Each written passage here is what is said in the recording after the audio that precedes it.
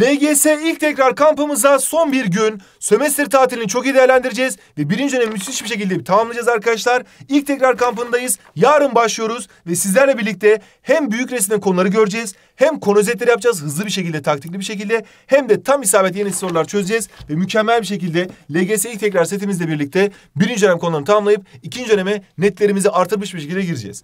Merve isimli bir öğrencimiz demiş ki, yani Merve üç tane V koymuş da. Hocam bazı konuların eksiklik var. O konuları tekrar mı pekiştirme amaçlı soru mu çözeyim? Bu kampta neler yapacağız tam olarak demiş. Arkadaşlar kampımızda LGS tekrar yaparken en önemli şey tabii ki soru olacak. Çünkü bize LGS'de soru soruyorlar. Yani sınava girdiğinizde hadi bakalım anlat tekrar et demeyecekler. Açacaklar bize seçenekler olan soru soracaklar.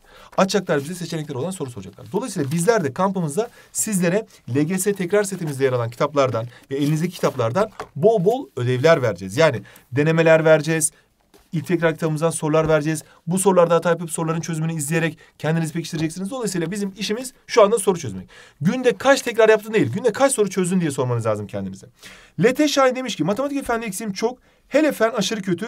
Bu programda tekrarları nasıl yapacağız? Özellikle fen inanılmaz ihtiyacım var. Ve tabii ki de matematik demiş. Arkadaşlar matematik ve fene tabii ki özel olarak eğileceğiz. Bilhassa matematik herkes zorluyor. Fende de yine mükemmel şekilde canlı tekrarlarımızla sizleri pekiştireceğiz. Fende kavramları karşılaştırarak öğrenmek çok etkili. Mesela mutasyon ve modifikasyon karşılaştırmasını bilmeniz lazım. Zaten bizler de LGS tekrar programımızdaki videolarda bakın burada video programımızı göstereyim. Sizler için her bir derse 25 Ocak'ta çarşamba günü Mevsimler ve iklimi, DNA ve genetik kodu.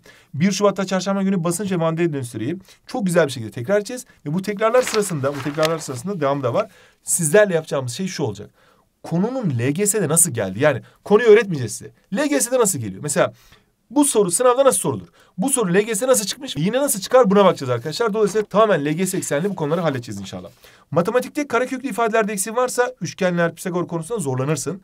Doğrusal denklemler konusu içinde 7. sınıf denklem çözümü konusunu iyi bilmelisin. Dolayısıyla burada eksiğin varsa hemen 7. sınıfa geri döneceğiz. 7. sınıf tekrar edeceğiz, pekiştireceğiz. Sonra 8'e geçmiş olacağız. Haftalık mutlaka konu tekrarları yapmalı ve bol bol yeni nesil soru çözmelisin. Çünkü bize sınavda soru soracaklar arkadaşlar. Dolayısıyla temel tekrar programı ya da nitelik tekrar programı hiç fark etmez. Her ikisinde de en çok yapacağımız şey soru çözmek olacak. Ama her ikisinde de konuları şöyle bir hızlı bir şekilde, taktikli bir şekilde sizlere özetleyeceğiz arkadaşlar.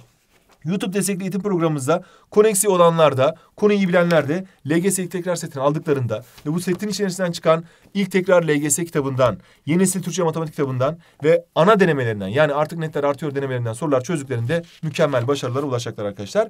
Kamp öncesi bir sürprizimiz var. Bunu dün de duyurmuştuk. Tonguç'la tekrar böyle yapılır etiketiyle ders çalışırken bir videonu YouTube'da paylaş. Her gün Günün öğrencisi olan bir kişi 8.2 akım notlarını kazanacak. Bu da bizlere sizlerden hediye. Hadi bakalım ödülü soru yorumlarınızı bekliyoruz. Yarın kampımız başlıyor. Setlerinizi alın ve kampa başlayalım. Hadi bakalım.